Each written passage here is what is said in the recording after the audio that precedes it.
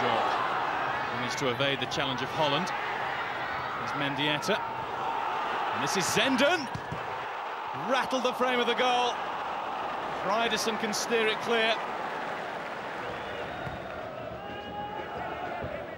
Coming towards Carlton Cole. Di Canio. Cole again. It's a good stop by Schwarzer.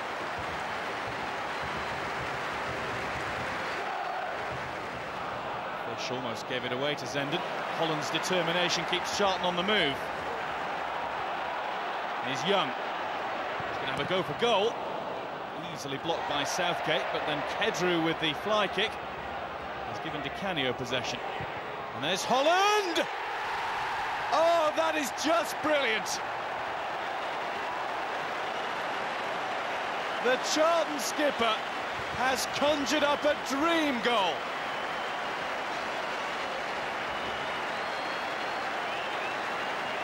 Canio with a disguised pass.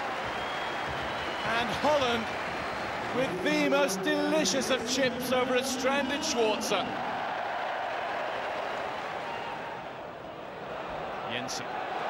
Skip past Ehiogu. Still going Claus Jensen. Did well to keep his feet. There's Kishishev. Into the crowd. And another day it might have been into the roof of the net.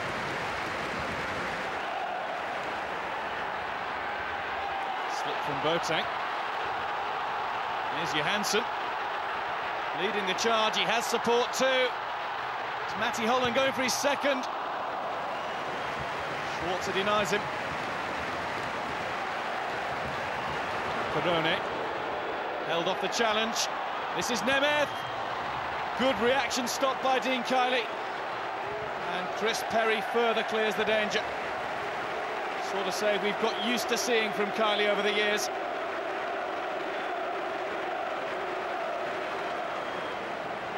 Johansson away from Southgate.